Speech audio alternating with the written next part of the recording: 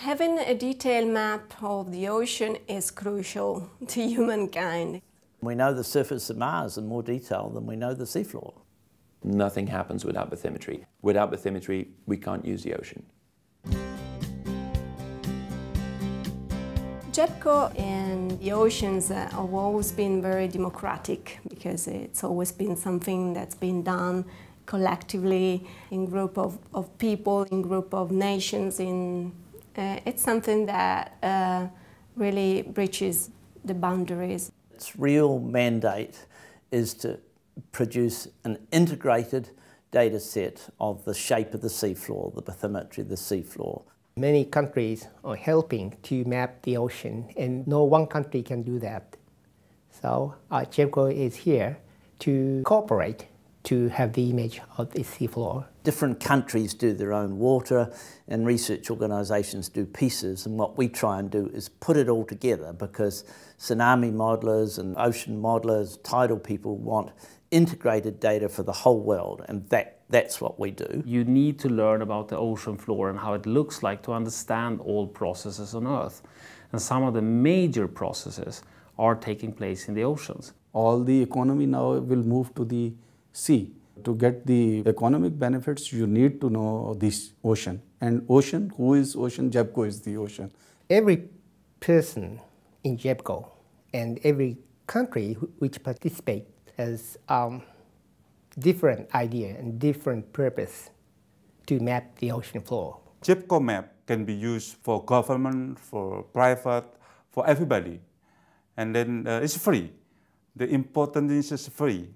GEBCO community is a bunch of um, scientists who all come together once a year and discuss how they can make this data uh, more useful to scientists. I come to GEBCO meetings because I really believe in working together to share ocean mapping data to create a global ocean map. Because so little of the ocean is mapped that by joining forces, it's the best way for us to build the map and put all the pieces together. It's like a quilt that we piece together bit by bit. All the brilliant minds in ocean mapping are part of this organization, the best minds to learn from. Any question, even now, we could write to them and they will help you.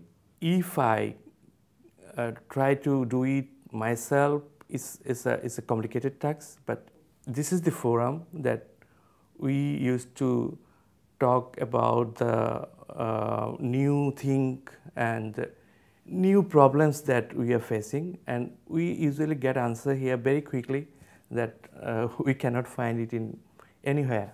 We come from many different backgrounds here. There are oceanographers, there are marine geophysicists, hydrographers that deal with mapping. So GEBCO bring us all together just because we want to map the world ocean. It's all volunteer work.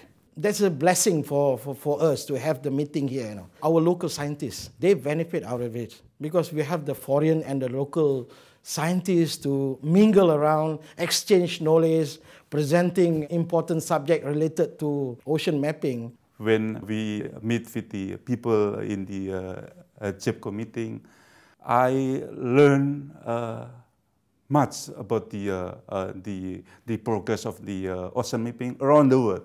There are so many areas of the ocean that are just completely undiscovered and when we see new data sets coming in covering these parts of the ocean, it's absolutely fascinating. More countries should get involved with GEBCO because the GEBCO grid benefits everybody. I would like that. Uh, if you think about uh, the bathymetry of the world, you think about the GEBCO compilation.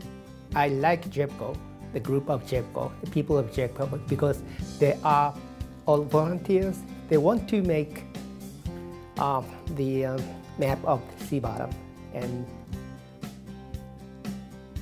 people may have different objective for mapping, but the goal to map, to map the ocean is the same, and uh, we cooperate, coordinate and cooperate.